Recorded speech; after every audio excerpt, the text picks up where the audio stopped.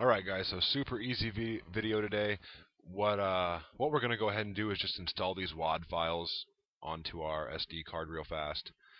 Um, what these will do, they'll allow you to play GameCube backup games straight from your USB drive or uh, you know USB flash drive, external hard drive, whatever you're using. So we'll go ahead, just click on computer real fast. Now I've already got them all installed, so I'm just going to click cancel, but here we are. You can see I've already got the first one installed there. So just drag and drop them over.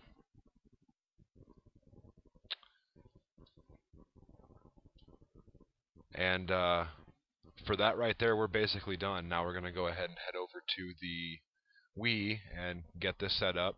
If you haven't watched the DM Toolbox video by me or somebody else yet, I recommend doing so just because you can't drag and drop an ISO of a GameCube game straight over um, you do have to run the program and have it install that in the game folder you've created on the root of the USB drive. So go ahead watch that video if you haven't already. Um, that way once you get you know these installed which takes a couple minutes um, you'll be able to jump on and start playing right away.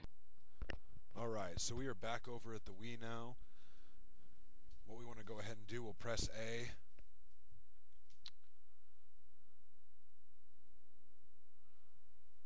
we are going to head over to the homebrew channel and um, go to the multi-mod manager real quick and install these WADs which it's not here. That's strange. Oh well where did that go? We WiiMod same thing a little bit of a different layout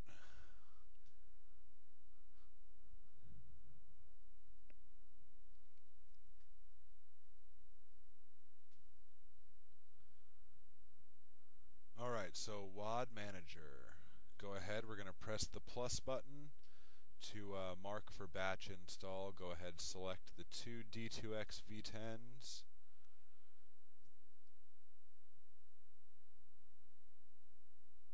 The Dios 2.10, the DMLR mod, both quad forces, and the RVL Mios Alright. Go ahead and press A. Yes, we would like to proceed.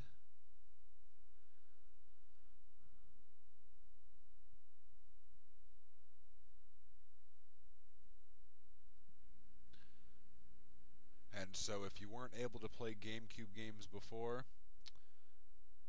we have, well, in a second here, four WADs left, and you will be able to. Hopefully you've already watched the uh, DM toolbox. Hopefully my video, if not somebody else's video, to get the um, the games onto your USB flash drive and all set up and everything. So, all right, they're all done. Press the B button. Press the B button. Press the home button. Well, I think it's the same thing for multi-mod manager. I think you can just just press B three times and it'll be out there. But and we'll just uh, exit to system menu real quick.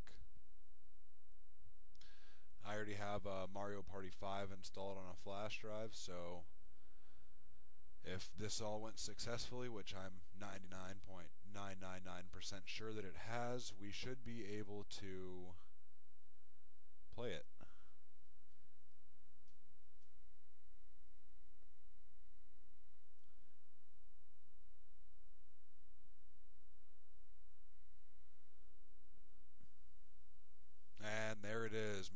Party 5, Nintendo GameCube.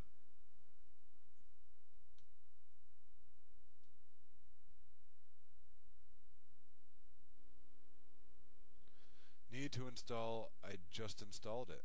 Did I not? Did we not just install that? Exit. Homebrew. I could have swore we just installed D Dios Mios Lite, or not the light version, but the full version. But maybe I missed it. I thought I did it.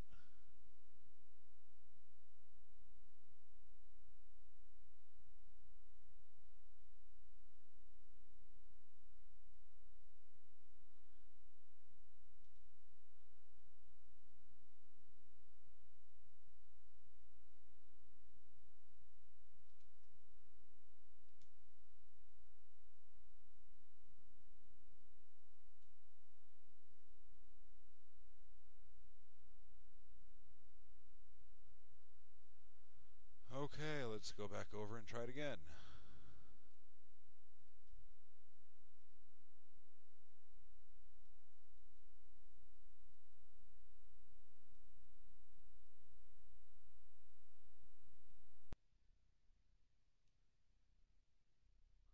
Yeah, I, okay, I guess I didn't select it. My bad. but anyways, you should hear your disk drive open now or, you know, try to eject a disk. Um, some games will require you to have a disk inserted, you know, any Wii disk, any GameCube disk. Um, any of those are fine. So anyways, guys, that's how you do it. Pretty simple, just the installation of a couple extra files. So, where's my GameCube controller at? Press start, and as you can see, it works just fine. Except for I don't have a memory card in, but what would you like to do? I would like to quit because I, you know, uh, you know, let's just retry it. Maybe it'll uh, magically pop a memory card in there. I don't know. But anyways, guys, that is the video. I hope you liked it. If you did, go ahead and like the video. Make sure you subscribe. Um, I've got a little giveaway going on right now for some employee-only Xbox One stickers. So if you are watching this video as soon as I put it out, make sure you pick a number. There's only 30 slots available, and I think there's like 28 left. Um, but I will be doing more giveaways, so if you subscribe, you will have a chance to win. Thanks for watching, guys. Hope you enjoyed.